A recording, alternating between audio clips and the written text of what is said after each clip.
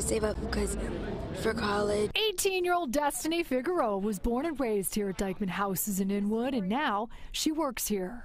I want um, the kids to be happy and proud of themselves. It's her second summer working as a program aide, doing everything from helping children and teens with reading programs to setting up food distributions. Figueroa says it's a win win.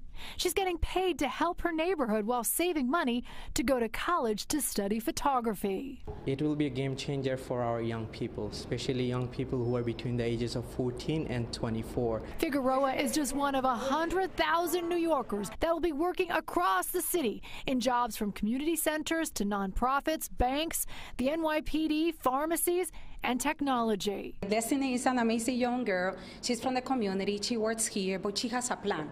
And she's going to pursue the plan, and we're going to help her along the way. This year's summer program runs from July 5th through August 20th. Those 16 and over are paid a minimum wage of $15 an hour. 14 and 15 year olds are paid a $700 stipend. It is the workload of the current staff, and they build that connection, you know, with a youthful energy. Destiny's already getting her assignments from her new boss, Nina Aristi, for the summer. Destiny's just one of so many that come in here and really they want to explore. And that's what SYEP is about, is giving the kids a space to explore their dreams. Destiny says she can't stop smiling. She's one step closer to her dream of becoming a professional photographer. And